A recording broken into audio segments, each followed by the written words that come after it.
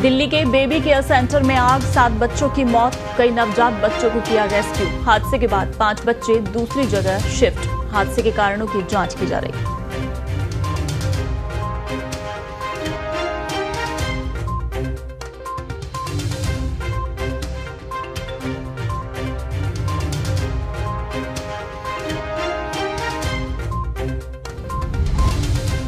पश्चिम बंगाल में रेमल तूफ़ान का कहर, कई मकान ढहे, पेड़ उखड़े। बंगाल के तटीय इलाकों से एक लाख लोगों को भेजा गया सुरक्षित जगहों पर।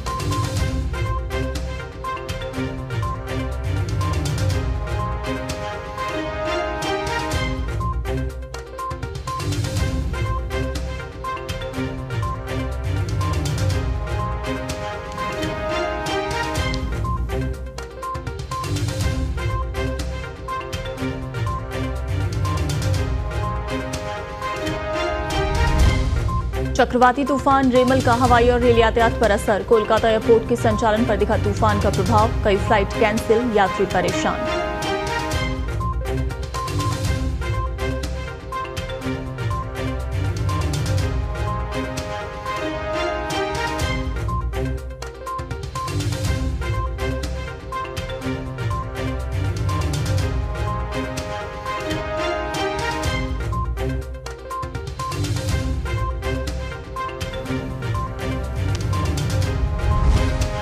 राजस्थान में फलौदी का अधिकतम तापमान पहुँचा उनचास दशमलव आठ डिग्री सेल्सियस पर। तो बाड़मेर का अधिकतम तापमान उनचास डिग्री सेल्सियस हुआ रिकॉर्ड।